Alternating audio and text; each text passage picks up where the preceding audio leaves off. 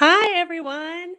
Happy New Year, uh, and welcome to this first in our creative journaling series. Um, I personally have a bullet journal, so I thought it would be fun to talk a little bit about uh, different types of journals and some different art techniques we can use. For January, I decided to focus on a polar lights theme, so we're going to be talking about that today. Um, so, first, we'll go over some supplies. Uh, we'll talk about some journaling ideas. We're going to do uh, some watercoloring. You can see I've done my first uh, pass with these two. Um, I'm going to do the second pass, bring out the colors a little bit more as we go along. Uh, I'm going to talk about some art ideas, some different ways we can use the watercolors in our journals, um, and some uh, other art techniques we can use too for our journals as well. Then we're just going to talk a little bit about some spread ideas. So I hope it'll be a fun little hour long excursion into journaling. So let's start with the supplies. As you can see, I've got my cardboard set up with my paper already here. Uh, I'm using some cold press watercolor paper for this one. Um, it's a little bit thicker because it's cold press watercolor paper. There's some ridges on it. You can't necessarily see when you're painting on it that there's some ridges.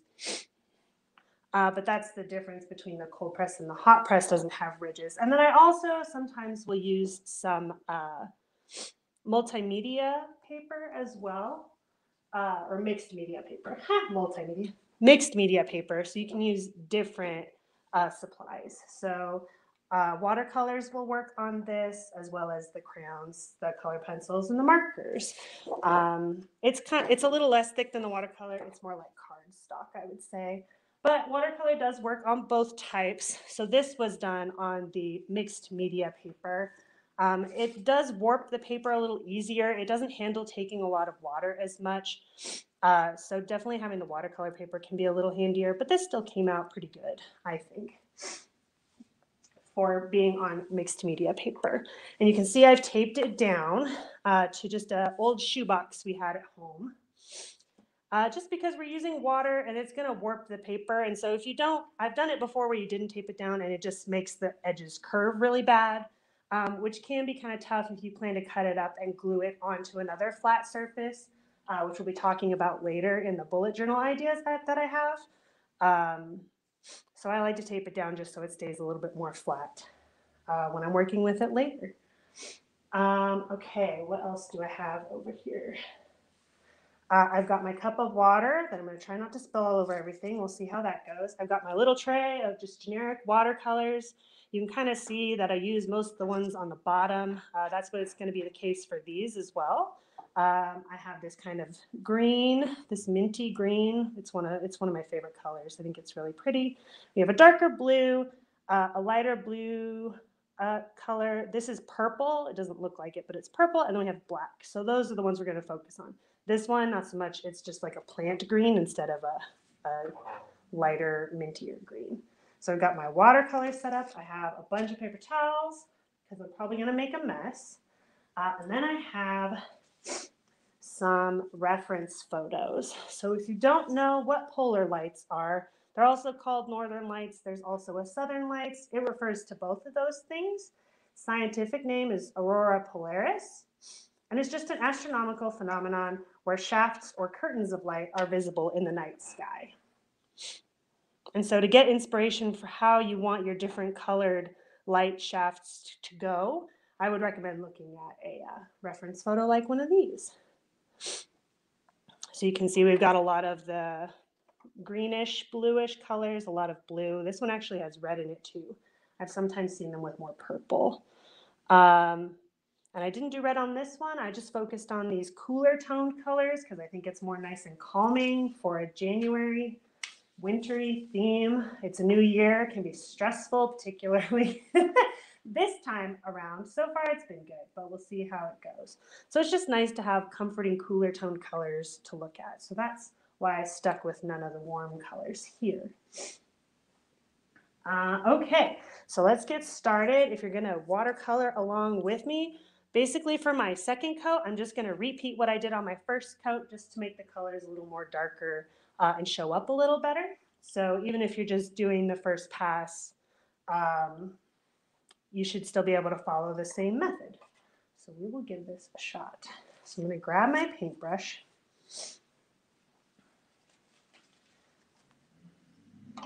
Um, let's see, I started with the far side, so that's where I'm going to go again. And I'm going to go and dip some water to get the paint in that far green one ready. Sometimes I have to dry off a little bit so the color will get on the brush and not just the uh, water. And we're just going to streak it back and forth. When I took my first watercolor class, one of the things they taught us to do was take the same color and go from really dark to really light. We just do that by adding water to it if you're just using the same color, which I thought was pretty cool. I haven't done a lot of watercoloring. It's pretty, uh, a pretty, chaotic, I think, a pretty chaotic form. but uh, but I think it's a lot of fun to try to let the, you try to control the paint and it just goes where it wants to. And so uh, I've definitely learned that doing a second coat is pretty helpful for blending those colors together. Because a lot of times what'll happen for me anyway is I'll, uh, it'll dry and it won't look like this when it's not dry, but then you get like splotches and then you get weird drying lines. So the second coat can help you with that. So I just started in the middle and with the minty green, with the streaks in our reference photos, kind of minty green. I think it's so pretty. Okay, now I'm going to take some of it. I'm going to put it in my lid because I don't have like a palette, but that's okay. Put it in the lid and then I'm going to clean the brush I'm going to get the brush wet again and I'm going to put it in the light blue.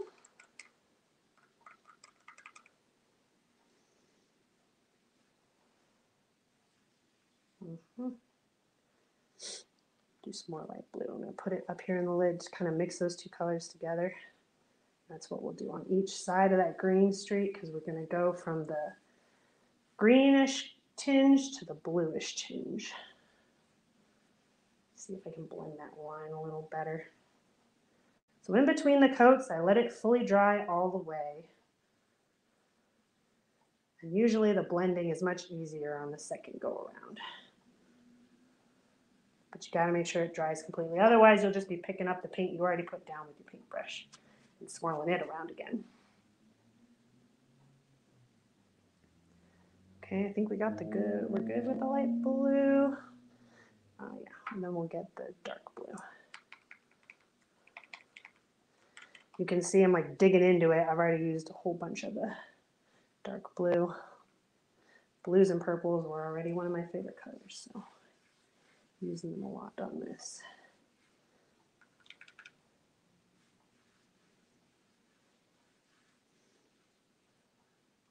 Oh, it's so pretty. Okay. Yeah, I think it's blending much better. And another reason why you maybe want to tape this down, it has to do with that warping, but it'll cause some weird pooling sometimes, even when it's taped down. But um, having it taped down will help keep it flatter so you don't get that weird splotchy pooling. Sometimes I have to go through and pick up some of the water I put down because it's just splotching around too much. You can see it happening a little bit right here. But that's okay. Doesn't have to be perfect.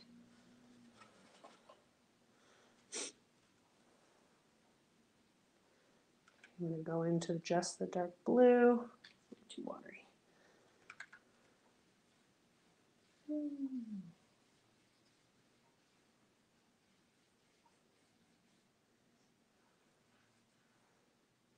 I didn't use any purple on this one, but we'll use some purple on the next one. I like this because it's not a complicated pattern or drawing you have to do. It's just back and forth strokes for the most part. But you get a pretty thing you can cut up and use in your journal. See. We're going to take some blue. Going to mix with some black. It's going to kind of mimic the night sky idea, but we don't want it to be completely black. Something I learned when I was painting the Galaxy watercolors too.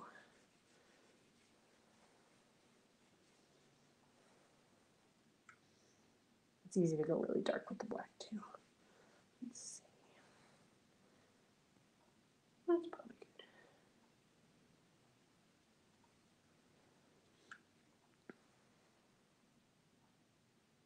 So like I said, I have a bullet journal uh, and I'll be showing you some of the ways I used not this particular one, but some other paintings I did uh, and how I incorporated them into my journal for my spreads and everything. But there is a lot of other types of journals. There's not just bullet journals. And that's why I didn't call this a bullet journal along. I called it a creative journal along. So we can talk about all the different types of journals, whether you're doing a daily journal, uh, doing a journal to specifically track one thing instead of many. I use my bullet journal to track a lot of things. So that's what's helpful for me. But sometimes people just want to focus on one thing. So maybe you want to do, here's some other ideas. Also, if you haven't started yours yet, I'm always really behind on starting my bullet journal. so what is it, January 4th, and I still haven't done it. Probably try to work on it some this week so I don't get too far behind. Um, but it's no fun to stress your, yourself out about the process, so no stress. That's the motto for 2021 is no stress. I'm just going to take my time with it. I've got the trackers done I need to start with. But maybe you're just going to focus on tracking one thing. So if you have a reading journal uh, to keep track of all the books you've read, I've definitely had some patrons call and not remember which books of the author they've read. So having that reading journal could be helpful. Uh, if there's particular authors that write a ton of books, uh, that maybe you want to keep better track of.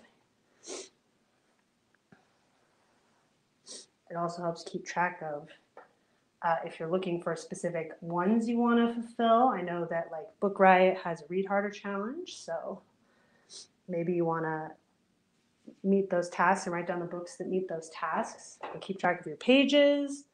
All sorts of different things you can do with a reading journal. Or maybe you want to keep track of what you're eating on a weekly basis. You want to do your meal planning in a journal. Uh, I might be doing that in my bullet journal this year uh, just to kind of keep better track of what I'm eating would be good. Okay, I think I'm done with my second pass on this one. It's looking much brighter, I think, than the beginning. So we're gonna move on to the other one. Now for this next one, I just took that minty green one again and I started with that and I just did some swirls. You can see kind of mimicking those shafts and curtains of light. Uh, that green color is so pretty. And then I did a, little light blue around them. You can't really see it. We'll see it more on the second pass through, I'm sure. Uh, and then we'll do some dark blue and purples around the edges. And then I ended by doing black. Black to mimic, like you can see in the reference, most reference photos, because these happen at night, the, the foreground is black. So you can see the lights in the background. So let's go with that. Just took that minty green. And like I said, I'm just going to repeat what I did the, on the first pass. So. Too wet.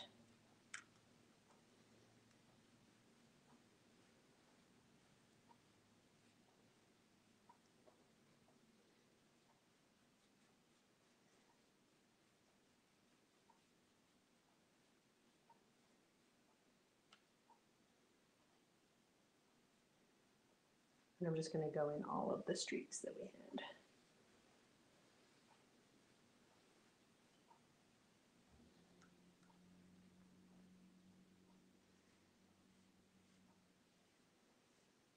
Okay, where were we at?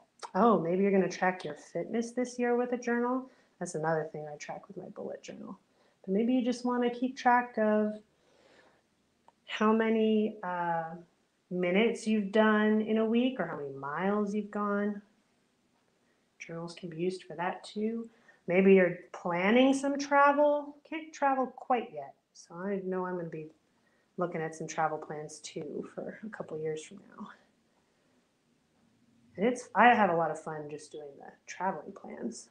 I'm one of those people.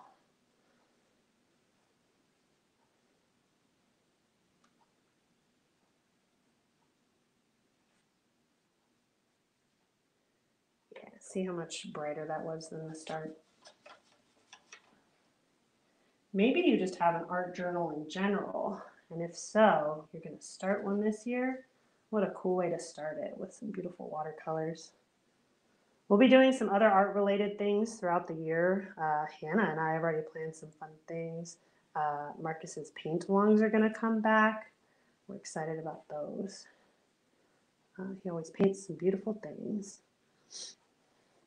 Okay, let's move on to the light blue, I think. Try not to mess it up, but even if I mess it up, it's still okay.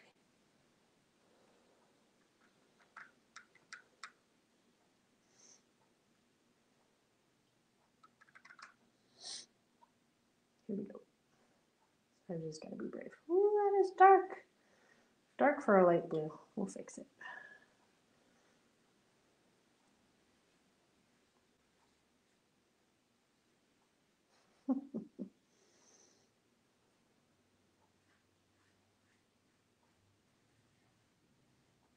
We're gonna go over it with a darker color anyway, so it doesn't really matter. I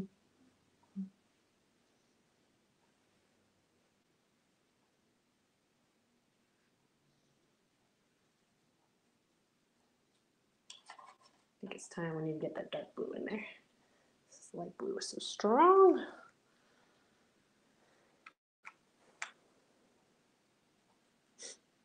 And the last type of journal I have written down that we can talk about is just a daily journal, like the original journal, original type of journal. I also, in addition to my bullet journal, I also usually have a daily journal too. Um, I use the I use the bullet journal for more like a planner, so having that daily journal that I try to write in every day is is nice to keep a little separate. Otherwise, I'd probably go through maybe four or five bullet journals every year, and that would be kind of tough to keep redoing the yearly, monthly trackers that many times. it's already hard for me to do. I'm not going to do it four or five times.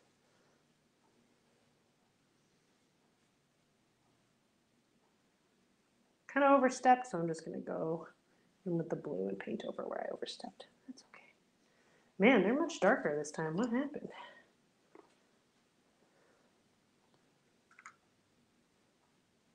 I'm just going to go all over with blue and then go back in with some purple, I think. Oops.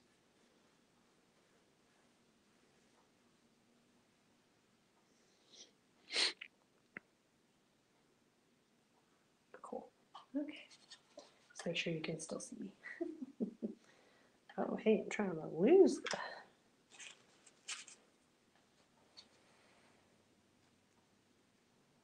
Okay, let's try and get in with some purple. So if you find one color is too strong, some water will just dilute it for you. We're just going to mix in a little bit. Can't not have purple. It's my favorite color.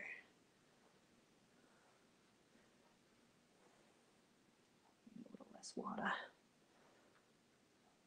Less water, a lot more paint.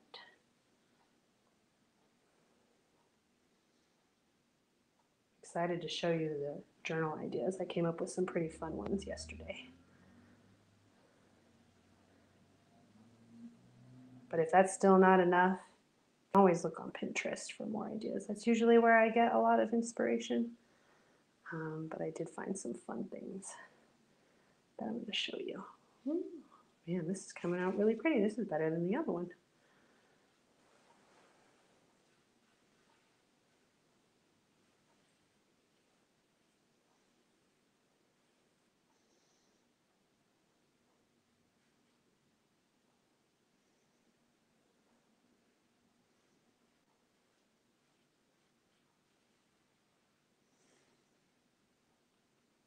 Need some more dark colors back down here. I think I got it too wet and I pulled up too much of the blue, that's okay.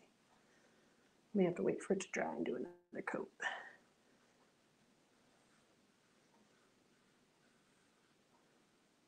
Yeah, let me go back later. All right. right, and then the last step was the black.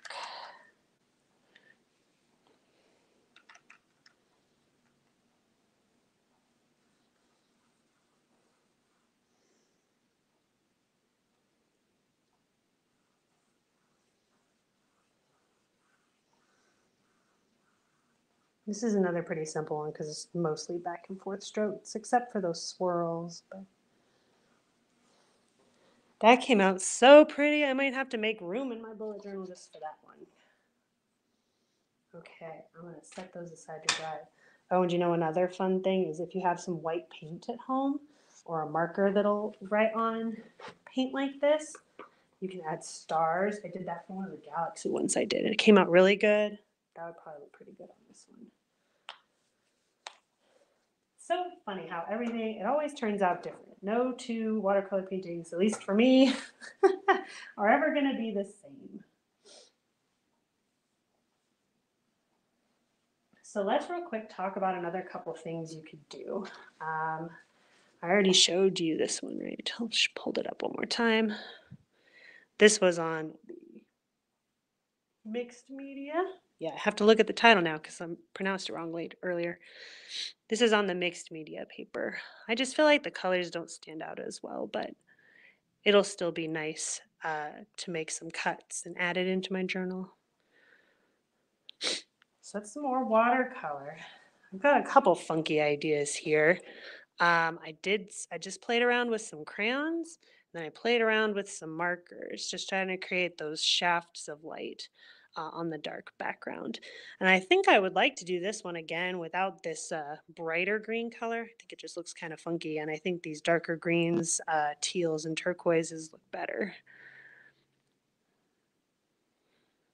So there's a couple other ideas. And what I did was I just took my crowns, I separated them out, or my markers, and I just separated them out by the type of color. And so there'll be usually a lighter one and a darker one. And then I just went up and down to create those shafts of light. And sometimes I'd make it bigger, but I'd always go the same direction, just up and down, even if I was going down. Because there's usually some variation in the way the shafts and the lines look.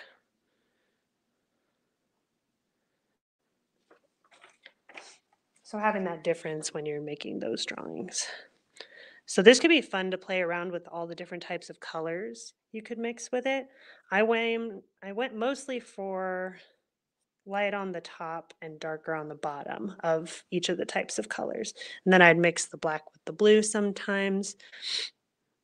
I think if you're going to do this with markers, you probably want new, stronger markers that have a lot of ink to give because it was kind of an ink heavy experiment. It's not my favorite, but it's a good experiment.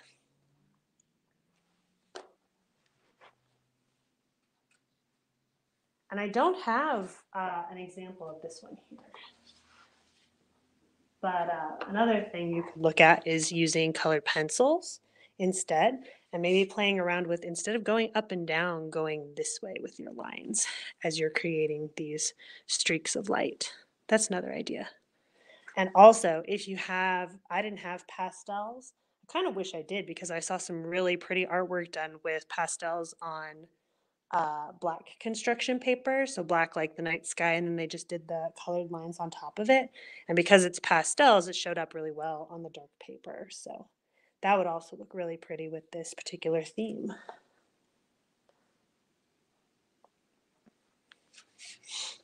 Okay. Now let's look at some of the ways. Basically, what I did was I had already done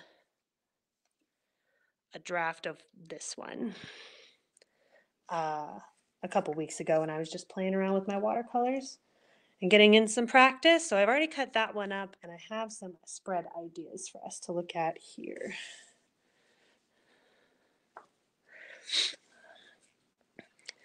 So this would be uh, good. You could do just this as the border and then put whatever you want in the middle. It could be a drawing, a quote, uh, it could be your journal entry for that day. Um, I just thought it added a nice pop of color to the page, um, a nice little frame. So in order to cut out the frame, it was kind of tricky. I flipped the paper over so that the white side was showing. Um, and I cut one edge to match this length where I wanted the colors to show up on the page. And then I just measured, uh, after I drew the page out of roughly, uh, then I was able to stick it on this side and measure out how big it should be. Uh, that was easier than trying to measure how long the page was and then trying to measure with a ruler, though I did have a ruler on hand. I just thought it was easier to give it a rough shape and then trim. Um, and I think that worked out pretty good. What I did have to do before I trimmed it though was try and determine uh, the width that I wanted the border to be.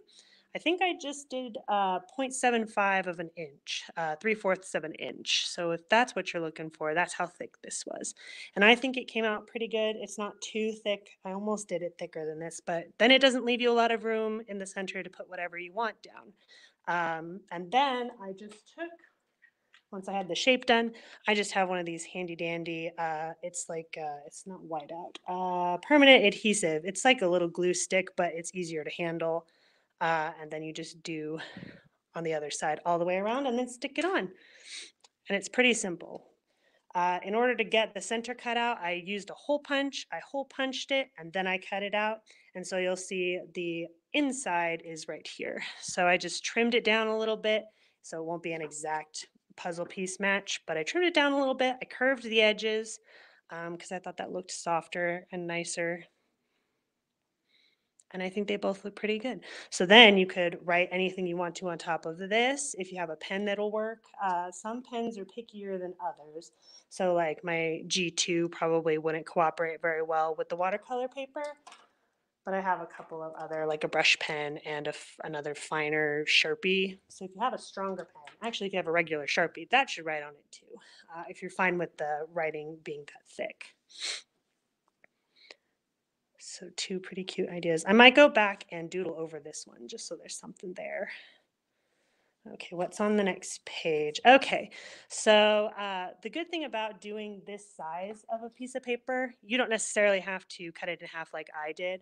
I just did it so I could show two techniques. But originally, I just did for what's in my bullet journal, I just did uh, a full page and then cut that up. So that's all, everything in here is just all the one drawing. So that's pretty handy. You can have, you can do one watercolor painting and then have artwork for like five pages or six pages. So for this one, I just treated this like it was my planner uh, and I just created the header. So you can see the pen that I used worked well on this not all of them do. And then I just thought this was funny. Uh, I was where our theme for January for the Barkman branch, it, we're following kind of a uh, space and galaxy theme. So uh, I thought this was funny because it looks like Neptune if you look up pictures of Neptune. And so I just put, uh, I used the lid of something to trace out this circle, but you can use all kinds of different lids and make all kinds of different circles. So you'll see on the next page, I found something that was a smaller circle and just cut that out on the back. Drew a ring around it. I really wanted to do Saturn, um, but the colors are not quite right.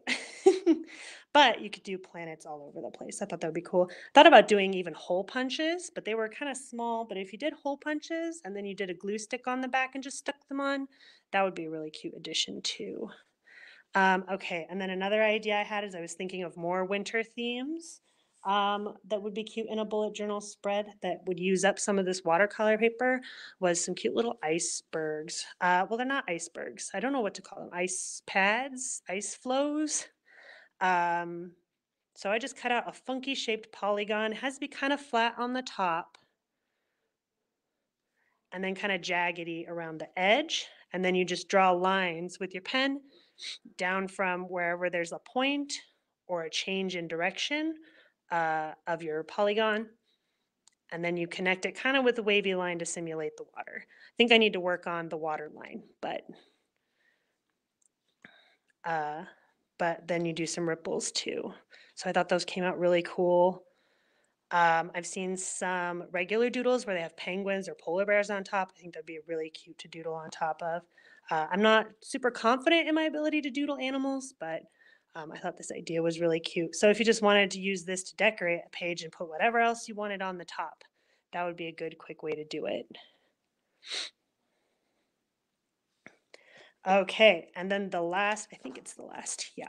The last idea I have in here for you, I tried to do something that would cover all the different types of journals we talked about. Uh, but this one, it's uh, kind of a meal tracker. So if you're doing a food, uh, but you could also do whatever kinds of spreads. This one's just focused on food. So I cut out uh, three more little labels. Uh, I just kind of eyeballed it from what I had left from everything else that I cut up uh, and then stuck them on sideways. So this is going to be breakfast, lunch, and dinner. That would be my, if I was going to track meals, and then I wrote out each day just to kind of keep track. So you could either plan it ahead of time or keep track of it as you go throughout the week. Either way would be good.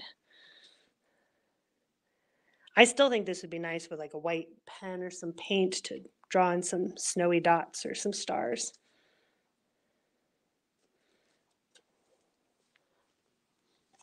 But that's just a few ideas. Circles, you can go, you can do a lot of different things with circles, I think, um, especially since it's pretty easy to find different sizes. Let's go back to our watercolor painting for a minute. See if I want to do anything else with it.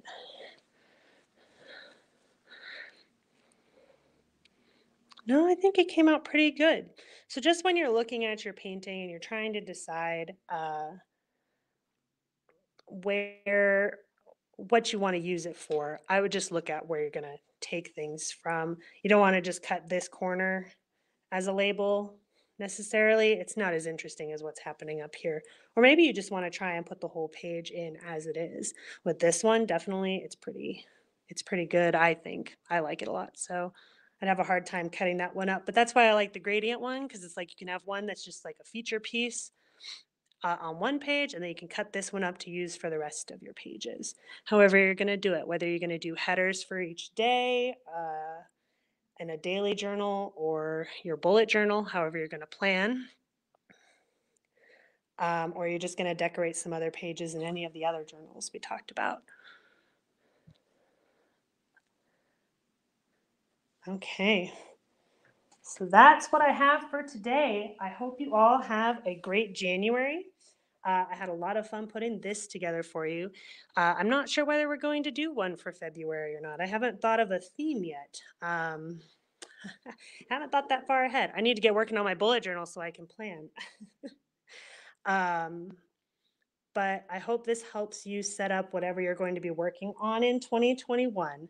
Uh, I know everyone's goals were kind of shot in 2020. So uh, I know everyone's probably rethinking what they're going to do with their new year. Um, I know it's going to be it's going to be a bumpy ride. but at least we'll have something pretty to look at. These blues, purples, and greens um, mixed with the darker colors. Uh, I think it'll always be nice to look back on, even at the end of this year. So, um, thank you for joining me today for this creative journal along for January 2021. Um, and like I said, you can always go back uh, in this video after it's done being live um, and just pause it for at certain points if you want to see how something's done, uh, how a spread looks. I tried to hold them up long enough for you. Um, and I hope you enjoyed it. Maybe I'll see you next month. We've got a lot of other fun programming scheduled for this month and beyond. Um, so if not, uh, I'll see you for our next program. Have a good week, everyone. Bye.